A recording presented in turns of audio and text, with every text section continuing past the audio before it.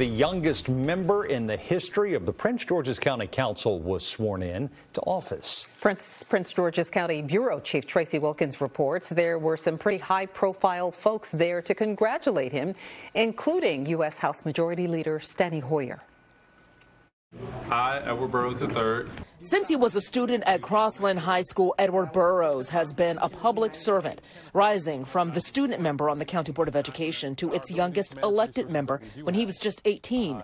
Now at 29, he's a county council member. If you would have asked me a year ago, six months ago, uh, where would I be? It would not be on the Prince George's County Council. Uh, for those of you who have known my story and know what we've been through, um, this is the last place that I would have ever thought I would be. When former District A Councilwoman Monique Anderson Walker stepped down to be running mate for gubernatorial candidate Peter Franchot, Burroughs won the special election with more than 70% of the vote in the primary, beating former councilman and state delegate Tony Knotts. On the school board, Burroughs helped elect progressive candidates, shifting the power of the board, often clashing with school leadership. His fight against former school CEO Kevin Maxwell went all the way to the governor. Maxwell later resigned. Ed, uh, man, I'm going to have to watch you because you can have the majority leader. Today, political leaders spoke in support of Burroughs, including U.S. House Majority Leader and Prince George's County native, Congressman Steny Hoyer. There's been controversy on the Board of Education.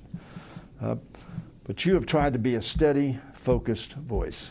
I'm here today to celebrate Ed, to celebrate his perseverance, his passion, and to remind each and every one of you that he is someone who is an example of the ultimate measure of a man. Burroughs' campaign was not supported by everyone on the county council. Some members were missing from his swearing in. I'm going to fight to do what's right on behalf of the people of Prince George's County, and often that gets me into some good trouble.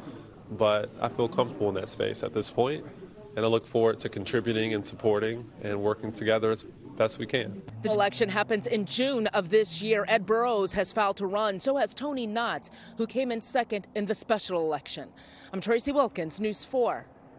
Now, after winning his seat, Burroughs resigned from his job overseeing the teen court program within Prince George's County State's Attorney's Office. Today, State's Attorney Aisha Braveboy said Burroughs helped grow the program and wrote legislation expanding the state's definition of child abuse.